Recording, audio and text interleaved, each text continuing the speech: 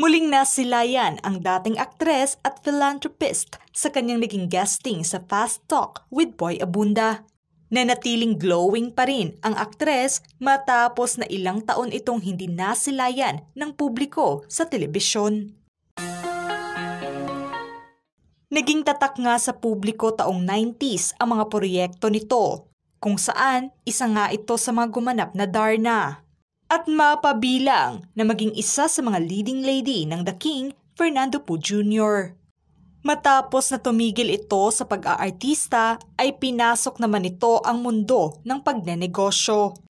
Nagkaroon nga ito ng sariling flagship product na bottled water kung saan ang naturang kita ay mapupunta sa charity at pagpapatayo ng mga silid-aralan sa mga malalayong lugar. Tanong nga ng karamihan na nagtayo ito ng negosyo ngunit lahat ng kita nito ay hindi mapupunta sa kanya.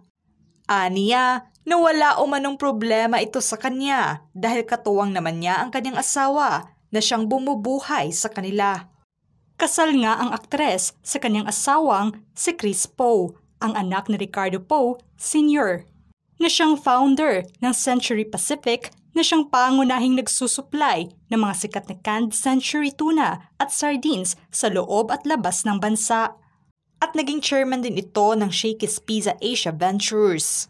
Natural na wala na nga itong problema sa pinansyal na usapan kung saan napabilang pa nga ang asawa nito sa top 20 na pinakamayamang angkan sa ating bansa.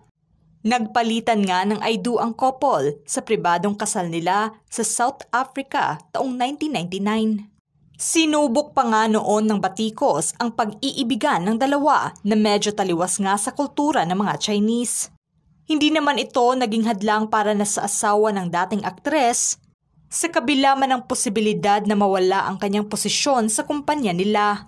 Nakabase pa nga noon ang dalawa sa ibang bansa at nang makabalik sa Pilipinas, kaya gumawa ng paraan ang dating aktres na matulungan at makabangong muli ang kanyang asawa sa pagnenegosyo.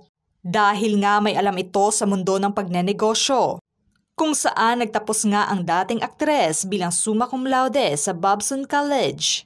Muling nakabangon nga sila at nakabalik sa pagnenegosyo. Sa ngayon ay executive, chairperson na nga ang asawa nito sa kanilang kumpanya. Nagkaroon naman ang mag-asawa ng dalawang anak na sina Ganden at Joss Poe.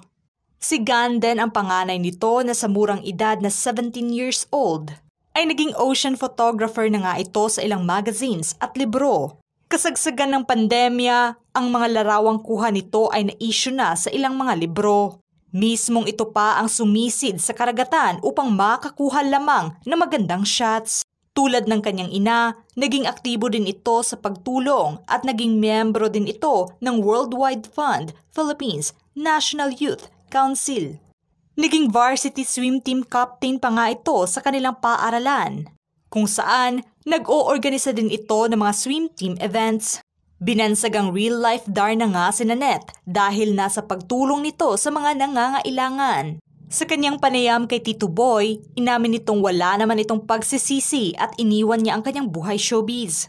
Dahil baka hindi niya raw kayanin ang galaw ng showbiz ngayon kaya malaki ang kanyang respeto sa ibang artista na naging matatag sa kabila man ng kritisismo sa kanila ng ibang tao. Samantalang, hindi lamang basta negosyante ang asawa nito, kundi naging instrumento nga para kay Chris ang negosyo nito upang masolusyonan ang pagkagutom sa bansa. Taong 2007, nang maging parte ito sa negosyo ng kanilang pamilya at naging president at CEO. Pagdating ng 2014 ay ito na nga ang humawak ng isa pa nilang negosyo. Nakalaunay pinasok na rin ang iba't iba pang negosyo. Nagtapos din ito ng summa cum laude sa University of Pennsylvania sa kursong engineering at may dual degrees sa Economics at Applied Science. Ipinagpatuloy naman ito ang kanyang master's degree in Business Administration sa Harvard University.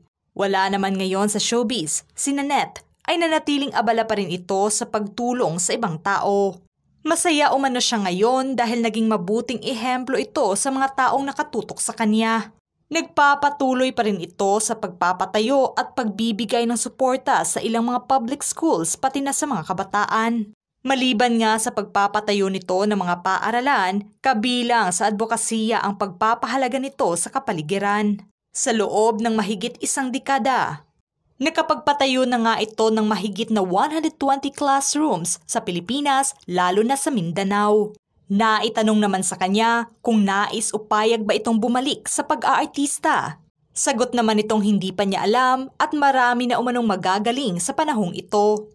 Nagpapasalamat naman ito sa kanyang asawa at sinusuportahan siya sa mga bagay na gusto niya. Inamin naman itong hindi niya rin magagawa ang mga bagay na ito kung wala ang kanyang asawa. Halos lahat ng mga ginagawa ko ay katuwang ko ang tulong niya doon.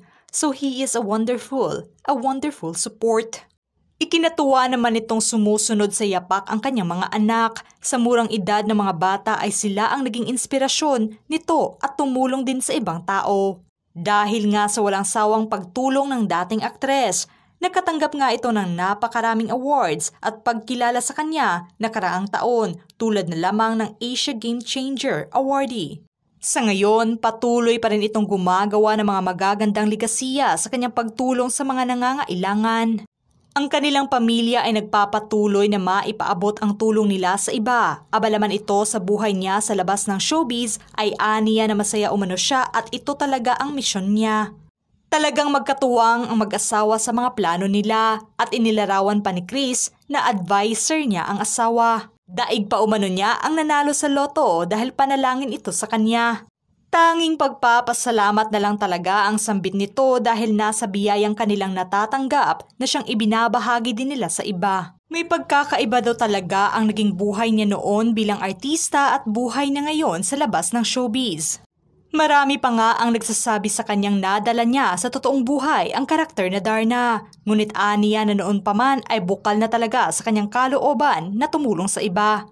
Karakter umano niya na kung ano ang gusto nitong maabot ay magpupursige ito na gawa ng paraan at dedikado sa lahat ng kanyang ginagawa. Kaya ngayon, napapagod man ang kanyang katawan ay masaya naman ang kanyang puso na nakikitang nakakatulong sa mga kabataan, mga walang trabaho at ibang tao. Bilang isang ina, nais niyang makita ng kanyang mga anak na maganda itong ehemplo sa loob at labas man ng kanilang tahanan. Kwento pa nito, na suportado din nilang mag-asawa ang ginagawa ngayon ng mga bata na sinusundan ang kanilang yapak. Walang mapaglagyan ang saya na kanilang nararamdaman dahil napalaki nila ng maayos at maganda umano ang pananaw ng mga ito sa mundo ng pagnenegosyo at pagtulong sa kapwa-tao. Mga ka-showbiz peeps, kayo, ano ang say nyo sa paksang ito?